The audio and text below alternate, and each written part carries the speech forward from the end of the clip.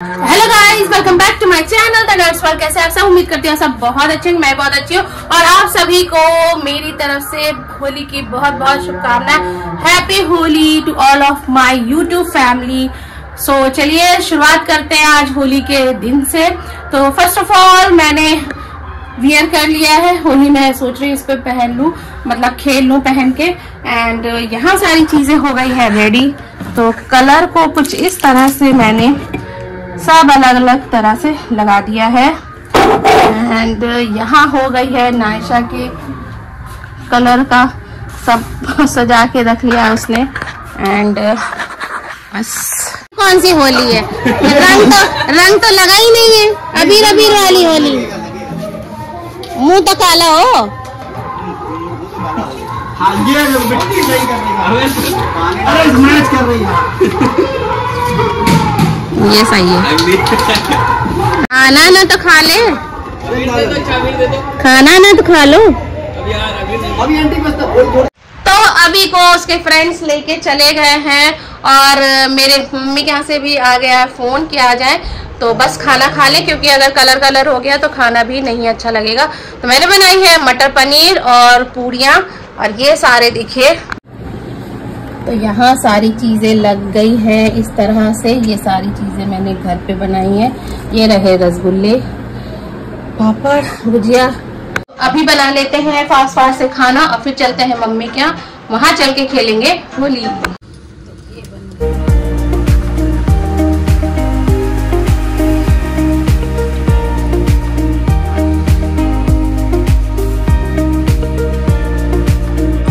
Finally हम mummy के घर पहुँच गए हैं और जाते ही हमें जो सबने मिलके रंगा है, मुझे तो यकीन नहीं हो रहा, सब मेरे ही इंतज़ार में बैठे थे और मुझे अभी और नायशा को सबने मिलके कलर कर दिया है क्योंकि सब ऑलरेडी पहले से ही होली खेल चुके थे और हम लोग कोरे कोरे पहुँच गए थे तो उन्होंने मिलके हमें बहुत अच्छे से कलर लगाया सबने मिलके। इतना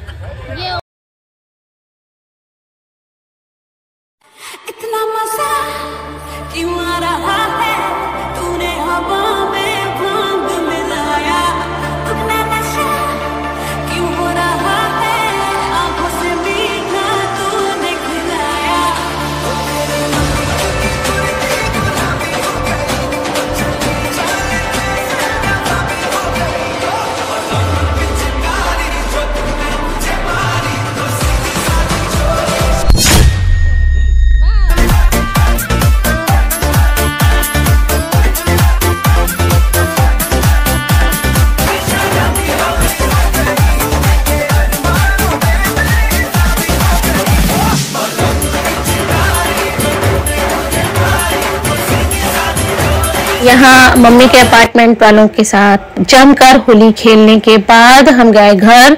एक्चुअली अभी का हाथ थोड़ा सा जल गया था इस पटाखे से बैग में निकल के। तो फिर हम घर जाके कपड़े चेंज किए हैं, उसको दवा लगाई है। एंड अभी जा रहे हैं हम अपनी दादी के घर। यस और ये हाल हुआ है मेरा। सॉरी प्लीज़ कोई भी कुछ भी गलत मत बोलना। ब्लैक कलर लगा दिया था सबने मिलके। एंड वहाँ पे भी होली खेलने के बाद हम आके घर पे सो गए थे। बहुत अच्छी नींद आई। उसके बाद शाम को बहुत अच्छा सा कुछ खाने का मन था तो हम लोग आ गए हैं स्मार्ट बाज़ार। तो यस यहाँ पे हम लोगों ने अपना डिनर किया। डिनर पे वैसे भी घर पे बहुत सारी चीज़ें रखी हुई थी तो सोचा कि थोड़ा सा बाहर कुछ खा के आते हैं। देन हम आ गए हैं। यहाँ पे काफ़ी सारे होली के ऑफ़र चल रहे थे, बहुत अच्छे अच्छे तो मैंने सोचा कि चलो थोड़ा चेकआउट करते हैं। जब यहाँ तक आ ही गए हैं तो कुछ देख लेते हैं।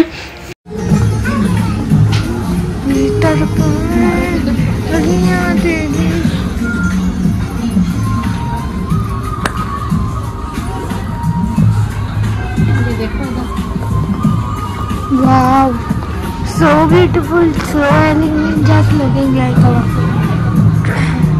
देखो मम्मी अरे आगे से अच्छी लग रही है थोड़ी बहुत अच्छी लग रही है ज़्यादा नहीं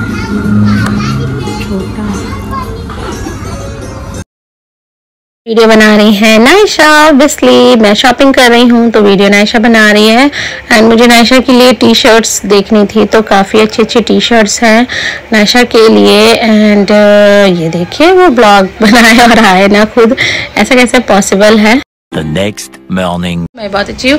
और सुबह सुबह का समय है, नहा धो के हो गई हूँ रेडी और आज है भाई दूज होली का भाई दूज यस तो आज सभी लोगों को मेरी तरफ़ से हैप्पी भाई दूज और अभी है दोनों लोग जो भाई दूज जिनको मनाना है, वो अभी सो सो के उठे हुए हैं।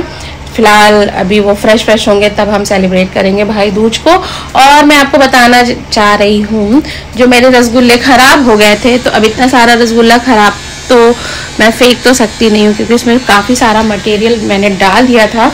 तो मैंने क्या किया है, मैंने गिट्स का जो पैकेट वाला जो मैंने उससे पहले आप सबके साथ एक रेसिपी शेयर करी थी रसगुल्लों की।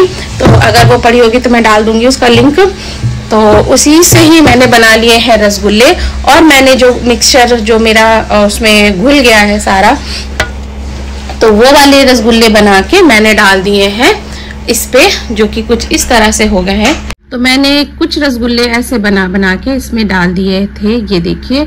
तो ये बिल्कुल परफेक्ट हो गए हैं और खाने में भी बहुत ज़्यादा यम्मी हो गया अब और तो उसके साथ साथ जो मेरे रसगुल्ले घुल गए थे, उनको भी खाया जा रहा है, ये देखिए।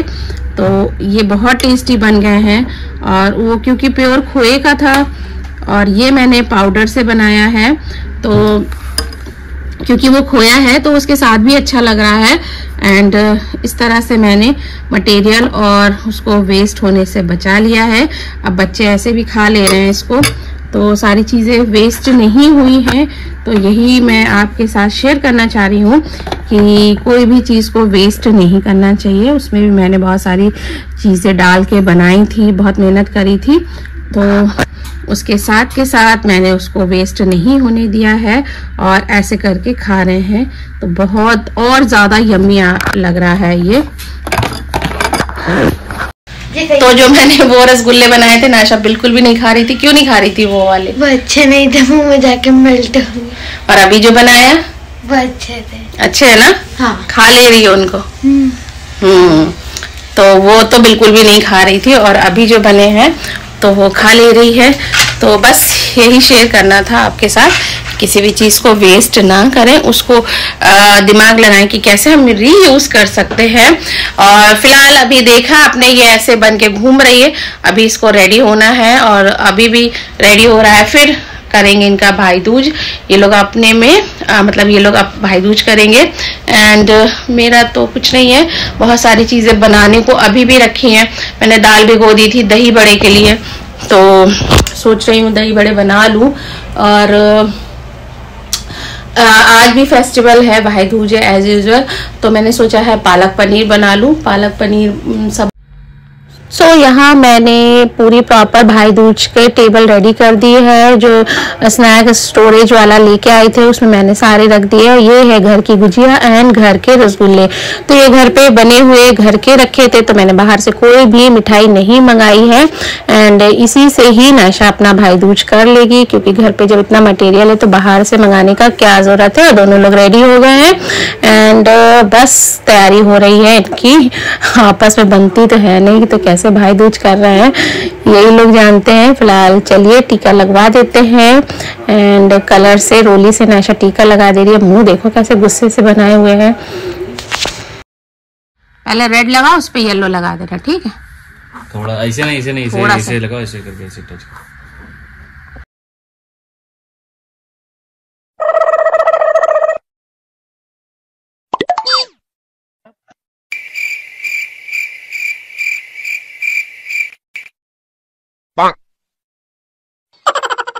ये रहा हमारा lunch palak paneer rice and ये मैंने बनाया लच्छा पराठा।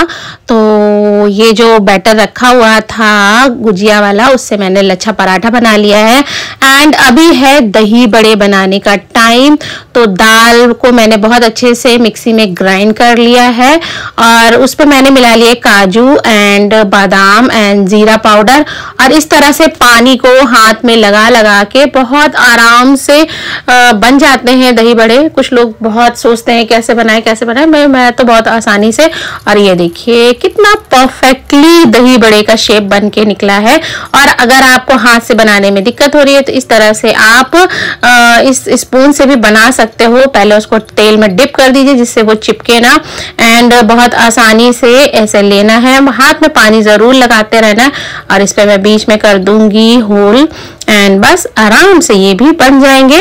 तो कुछ लोग वैसे पकौड़ियों की तरह निकाल देते हैं दही बड़ों को। वो मुझे बिल्कुल भी पसंद नहीं है। मुझे दही बड़े जैसे होते हैं, वैसे ही पसंद है। और ये देखिए, ये भी आराम से निकल गया है। फ़िलहाल स्पून से अच्छा मेरे हाथ से बन गया था। तो मुझे हाथ से ही बनाना ज़्यादा अच्छा लगा है। वो बहुत जल्दी जल्दी बन भी जाते हैं। तो नेक्स्ट ट्राई करते हैं, फ़िलहाल पहला वाला तो थोड़ा सा चिपक गया है। चलिए दूसरा ट्राई करती हूँ और ऐसे रख के और ये देखिए, बहुत आसानी से बन जाते हैं स्पून से भी। तो मेरे तो दही बड़े बहुत परफेक्टली बन गए हैं एंड इस तरह से आपको हाथ में पानी लगा लगा के जब आप पानी लगा लेते हो तो बिल्कुल भी ये दाल चिपकती नहीं है आपके हाथों में। एंड बहुत अच्छे से ईजिली निकल भी जाती है। तो इस अ, होली में ज़रूर ट्राई करिएगा दही बड़े बनाना एंड मेरे अ, जिसको भी जिसने भी खाया है अभी उसको सबको बहुत पसंद आया दही बड़े। तो यहाँ पे मेरे गोल गोल दही बड़े हो गए हैं रेडी ये देख सकते हो आप। और बहुत आसानी से बन जाते हैं। तो इनको बहुत धीमी धीमी आँच में पकाना है, जिसे अंदर तक बिल्कुल अच्छे से पक जाए। और ड्राई फ्रूट्स जो डालने से बहुत अच्छा सा क्रंच आता है। एकदम प्लेन प्लेन नहीं रहता है, बहुत अच्छे से क्रंची लगते हैं। तो इसलिए मैं दही बड़े में हमेशा ड्राई फ्रूट्स ज़रूर डालती हूँ। और अगर आपके बच्चों को किशमिश पसंद हो तो इस पे किशमिश ज़रूर डालें, ज़रूर से ज़रूर डालें। अगर किशमिश का टेस्ट आपको अच्छा लगता है खैर, मेरे यहाँ तो किसी को भी नहीं पसंद है किशमिश का टेस्ट इसलिए मैंने नहीं डाला है। तो उससे जो खटमिठा टेस्ट आता है, खट्टा मीठा, वो बहुत ज़्यादा अच्छा लगता है। तो ये है एंड अभी इसको बस निकालना है गरम गरम ऐसे ही, और ऐसे ये निकाल के सारा ऑयल इसमें अब्जॉर्ब करने के बाद मैं डाल दूँगी पानी में।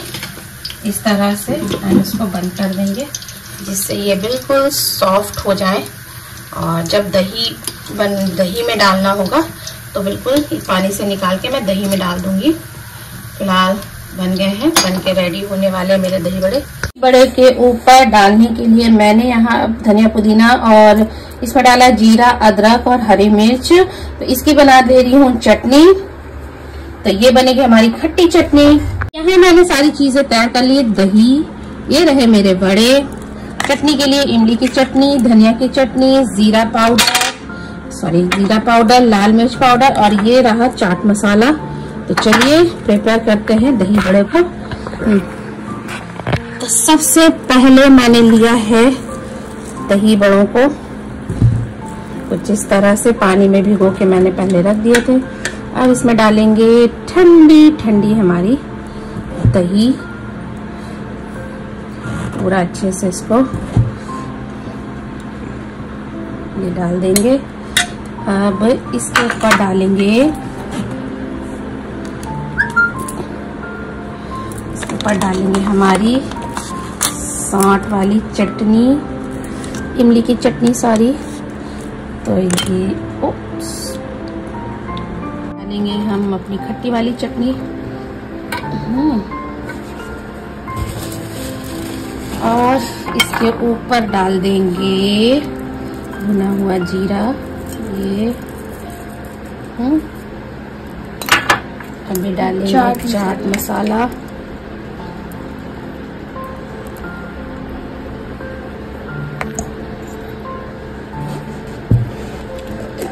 और डालेंगे लाल मिर्च पाउडर। ये हो गए हमारे दही बड़े चलिए टेस्ट कराते हैं अभी से। कैसे बने हैं? ये लो। हाँ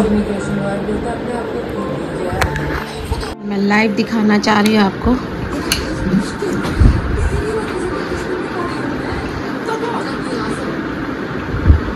कैसे बने दही बड़े? एक नंबर हैं?